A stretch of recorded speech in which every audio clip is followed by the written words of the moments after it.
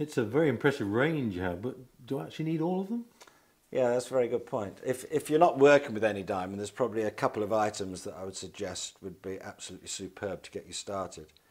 Um, one in particular, which is the diamond credit card stone. This is a fine grit on this side, 600 grit, 25 micron.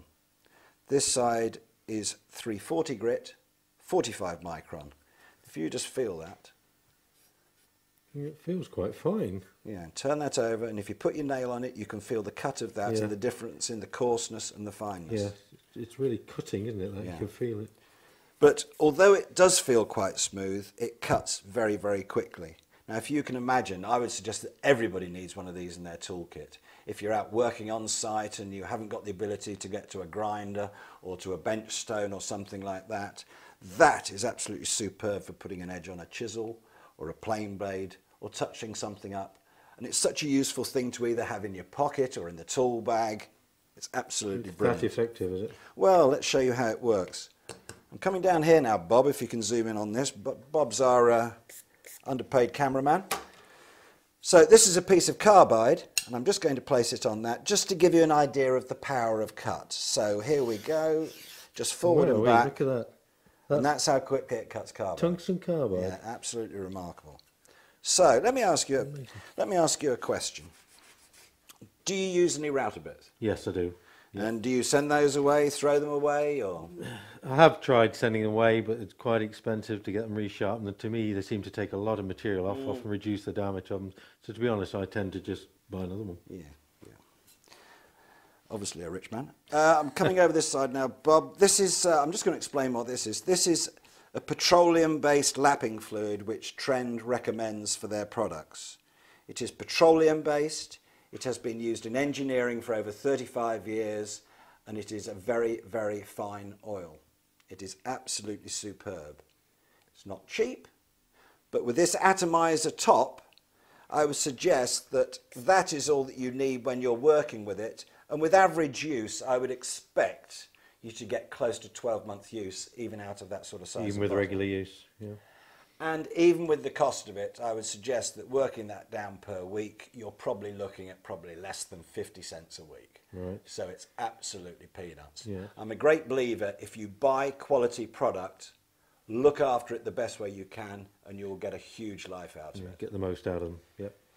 The biggest thing is is that you must not use water or water-based products on these stones. Well, I've seen right. people using water before. You don't do that. No, you don't do that. The thing is, is that as I try to explain, when the diamond is set into nickel and then electroplated onto the surface, inherently nickel is porous. If you use something water-based, you're going to get a rusting problem. Right. This prevents rusting and stops it clogging. Right. If you want to use water, I suggest you go and wash your car. anyway, going back to your router bit. So, what I suggest to people is, depending on what quality of router bit they're buying, is I would actually sharpen them from new to make sure they're as sharp as the manufacturers want them to be, because then they're working the most effectively. Right. Where people tend to go wrong is when they're using a router bit and it tends to get a little bit blunt, and then, oh, I'll just leave it one more time, I'll leave Yeah. it one more time. or then you have to send them away, and as you rightly say, they grind about 30 or 40% off the face. I'm going down to this corner now, Bob. So, quick spray on that. And what I like to do is just, I'm working on the fine side. If you're working with a lot of carbide cutters, I would work on the fine side. If you're working with HSS, I would work on the coarse side. Right. Although very few cutters now are HSS. Yeah. So I like to actually place that on a work surface like so. You're totally in control of that. And then with your cutters, you always sharpen from the flat side. Okay. You never touch a profile side. So that way round, they're fairly easy to sharpen. So I just come in from here, and there it is on the flat side. And all I'm going to do is rub it forward and backwards four or five times. That's how quickly it cuts the carbide. Turn it over, do exactly the same on the other side to keep it in balance.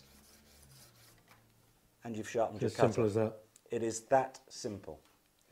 If you just feel the edge on there, it is very, very keen. Well, that, that's a sharpen that quite dramatically. But the thing is, is that if you do that regularly with your cutters, you can actually get 10 times more life out of your cutters. Hmm. Keep them sharp, and they will go on and on and on. Well, it's that simple to do. There's no reason not to, is there? It's not a problem. It's not a big job and not a big setup to do it. So Oh, that's, that's things for the router bit. So then also, as I was saying, if you're out on site, if you'd just like to pass me a chisel. Again, if you're out on site, I have to get my glasses on for this one. All right, come in here. You can see when you're on the right angle. And all you're doing in a very light motion, for, it cuts forward and back. You can see exactly what I'm taking from that You can hear edge, it cutting, can't you? edge already. yeah. Absolutely remarkable. And then obviously flat on the back and just take off a burr. So if you can imagine when you're out on site, having the ability to re-edge a chisel like that, to me is absolutely priceless. It's fantastic.